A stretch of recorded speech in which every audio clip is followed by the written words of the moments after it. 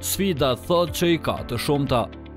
Kushtet jo adekuate për stërvitje dhe mbështetja e munguar nga shteti, po ia vështirësojnë punët drejt kualifikimit në lojërat olimpike Parisi 2024.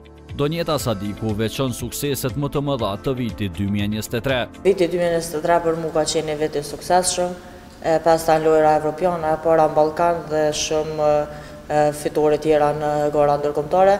Me gjithë paraqitjet pozitive, Sadiku thotë që përkrahja ka munguar. Pas dy medaljeve që i kam siguru në vitin 2022 botëroren dhe evropianen, unë e kam prit që kam me pas një mbështetje pak ma ndryshe dhe një trajtim pak ma ndryshe e se që e kom pas më herët, mirëpo kjo gjë nuk ka ndodhur, mirëpo unë kam thënë që unë nuk dorëzohem asnjëherë. I gjithë fokusi i bokseres nga Prishtina për vitin dy mijë e njëzet e katër është te Olimpiada e Parisit. Synimi i saj është arritja në zonën e medaljeve.